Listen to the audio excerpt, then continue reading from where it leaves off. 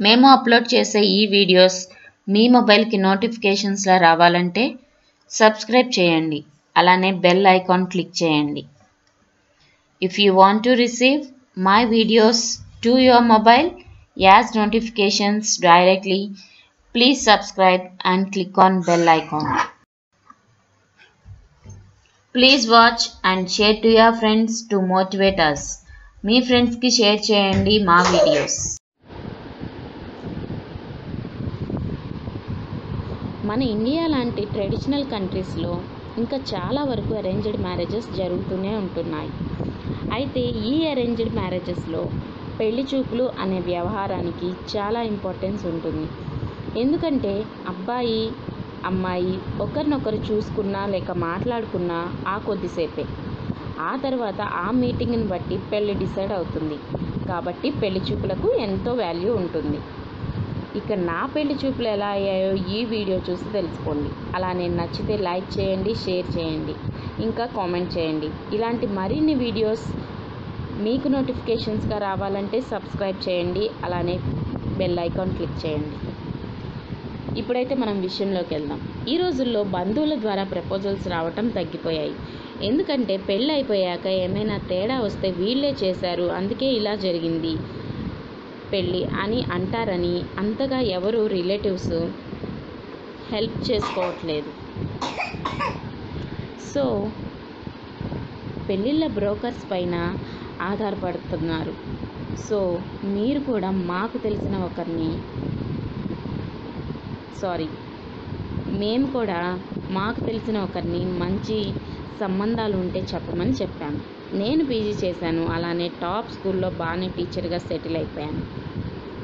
అందం గురించి చెప్పాలంటే ఎవరికి వాళ్ళే అందగత్తె అని ఎలాగో ఫీల్ అవుతారనుకోండి నేను కూడా అలాగే ఫీల్ అవుతుంటాను. ఎందుకంటే నా ఫొటోస్ మా ఫేమస్ టాప్ స్కూల్లో అడ్మిషన్స్లో పబ్లిసిటీ కోసం వాడేవాళ్ళు. ఇక మా స్కూల్లో కొలీగ్స్ అయితే వారి బంధువుల్లో కోటీశ్వర్లు ఉన్నారు వస్తే పట్టింపులు లేకుంటే చెప్పు. ఎదురు కట్నంలా అయినా సరే ఇచ్చి సెట్ చేస్తాము అనే వాళ్ళైతే ఇక మా అమ్మ నాన్న ఎలాగూ ట్రెడిషనల్గా ఏదో బంధువుల్లో నెట్టేసి పెళ్ళి చేసే గొడవల్లో వచ్చిన వాళ్ళే సర్దుకొని సేమ్ క్యాస్ట్లోనే వెతుక్కుంటూ ఉన్నారు. వచ్చే మ్యాచెస్లో ఎక్కువగా టీచర్ ఎన్ఆర్ఎస్ బిజినెస్ మ్యాన్లు ఇలా బోలెడు ఉండేవి కానీ నాకెందుకో సినిమా ఇన్ఫ్లుయెన్స్ వలనో ఏమో కానీ సాఫ్ట్వేర్ వాడైతే సాఫ్ట్గా ఉంటారు అని అనుకొని అలాంటి మ్యాచ్ వస్తే బాగుండు అనుకునేదాన్ని. నా రిక్వైర్మెంట్స్కి మొదట్లో సాఫ్ట్వేర్ జాబ్ ఉంది. అలానే లక్ష పైన మంత్లీ శాలరీ ఉంది. ఏబో అబ్బాయికి సాఫ్ట్వేర్ న్యాచురల్గా సాఫ్ట్గా ఉంటే బాగుండు అనుకునేదాన్ని. అలా నేను అనుకున్నట్టే ఏజెంట్ ఓ రోజు కాల్ చేసి నెక్స్ట్ డే వస్తారు చూసుకోవడానికి అని చెప్పేశారు మాకు. అప్పుడు ఇక నాకు టెన్షన్ మొదలైంది. అసలు అబ్బాయి ఎలా ఉంటాడో కుదురుతుందో లేదో అలానే నన్ను యాక్సెప్ట్ చేస్తారో రిజెక్ట్ చేస్తారో అని ఎంత అందంగా ఉన్నా ఏదో ఒక మూల టెన్షన్గా ఉండేది.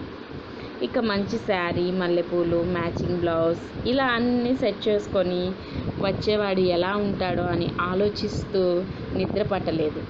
ఆ రోజు నైట్ అంతా అలా లేట్గా పడుకున్నాక మార్నింగ్ లేచేసరికి అమ్మ వాళ్ళు ఆల్రెడీ హడావిడి మొదలెట్టారు. అబ్బాయి వాళ్ళు వచ్చేసారంట అని ఇక అంతే నేను అన్నీ మర్చిపోయాను. నా శారీస్ పూలు ఇవన్నీ ఎక్కడ పెట్టేశాను? మా ఇల్లు చిన్నదని ఒక హౌస్ రెంట్కి తీసుకున్నాం. కానీ అక్కడ ఏమీ లేవు. కొన్ని చైర్స్ తప్ప. రెంట్ హౌస్ అయితే చిన్నదా పెద్దదా అని అడగరు. కాబట్టి అలా ప్లాన్ వేసాం. ఇక దొరికిన బ్యాగ్ శారీ స్వీట్స్ తీసుకొని రెంటెడ్ హౌస్లోకి వెళ్ళిపోయాం. ఇక బాత్ లేదు ఏమీ లేదు. అలా ఏదో ఒక ఓల్డ్ శారీ అంటే బాగానే ఉంది. కానీ ఆల్రెడీ వాడిన శారీనే కట్టుకొని మల్లెపూల కోసం వెతుక్కొని సో ఒక రోజు నా జడలో పెట్టుకొని వెతికితే కనిపించలేదు మల్లెపూలు. సో అందుకని రోజు జడలో పెట్టుకొని రెడీ అయ్యి టెన్షన్గా తిరుగుతూ ఉన్నా కిచెన్లోని. ఆ తర్వాత కొద్దిసేపటికి అబ్బాయి వాళ్ళ బ్రదర్ పేరెంట్స్ వచ్చేసారు వాళ్ళకి టీ స్నాక్స్ అలా ఇచ్చేసి నన్ను చైర్లో కూర్చోమన్నారు. అబ్బాయి వాళ్ళ పేరెంట్స్ నానేం అడగగానే నాకు సిగ్గేసి అలా తల ఉంచుకొని ఏమీ మాట్లాడలేకపోయాను. అప్పుడు వాళ్ళు ఏంది ఈ పిల్ల? అనుకొని ఉంటారు. నన్ను వదిలేసి వాళ్ళు తెలిసిన రిలేటివ్స్ గురించి మాట్లాడుకుంటూ ఈ అమ్మాయికి కాస్త సిగ్గెక్కువలే అనుకుంటూ జోక్స్ వేసుకుంటూ ఉంటే నాకు కొంచెం రిలీఫ్ వచ్చింది. అప్పుడు అబ్బాయిని అమ్మాయిలతో ఏమైనా పర్సనల్గా మాట్లాడాలి అని మమ్మల్ని ఇద్దరిని కిచెన్లోకి పంపించారు. తను ఏమేమి క్వశ్చన్స్ వేశారంటే మీరు ఎక్కడ వర్క్ చేశారు? ఏం చదువుకున్నారు? అలానే ఇంకా పిహెచ్డి ఇలా చదవాలి అని ఉందా? లైక్ జాబ్ కంటిన్యూ చేయాలని ఉందా? టీచర్ జాబ్ లేక సాఫ్ట్వేర్ జాబ్ కూడా ఇంట్రెస్ట్ ఉందా? ఇలాంటి క్వశ్చన్స్ అడిగారు. నేను నాకు తోచిన సమాధానం చెప్పాను. టెన్షన్ టెన్షన్గా. కానీ అబ్బాయినైతే ధైర్యంగా ఐ ఐ టు ఐ చూడలేదు సిగ్గుతో. కానీ నాకెందుకో ఆ అబ్బాయి కాస్త సాఫ్ట్ కానీ నన్నంత